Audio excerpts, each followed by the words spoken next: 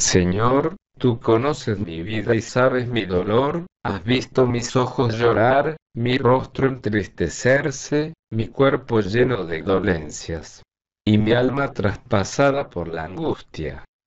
Lo mismo que te pasó a ti cuando, camino de la cruz, todos te abandonaron, hazme comprender tus sufrimientos y con ellos el amor que tú nos tienes.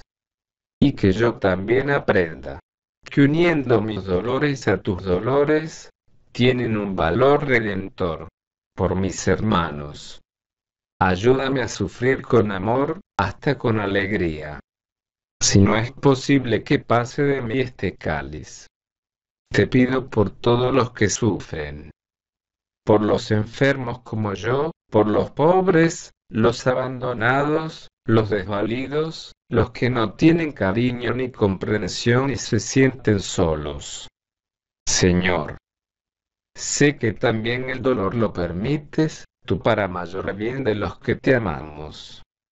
Haz que estas dolencias que me aquejan, me purifiquen, me hagan más humano, me transformen y me acerquen más a ti. Amén.